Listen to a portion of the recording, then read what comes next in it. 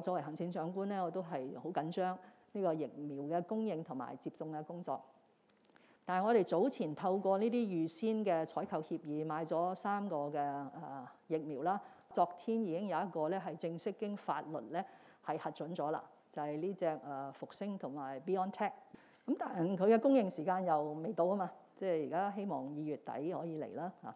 咁另外有一隻咧就係誒一早話俾我哋聽冇咁早嘅，即係牛津嗰個 AstraZeneca 啦，要到下半年。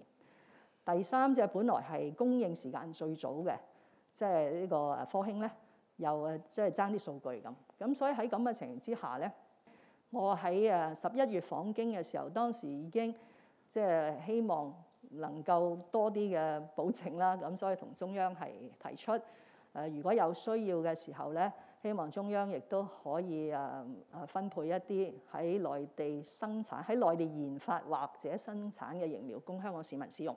其實我係都十日八日，起碼十日八日前㗎啦，都覺得已經係對到咗呢一刻咧係有需要啦。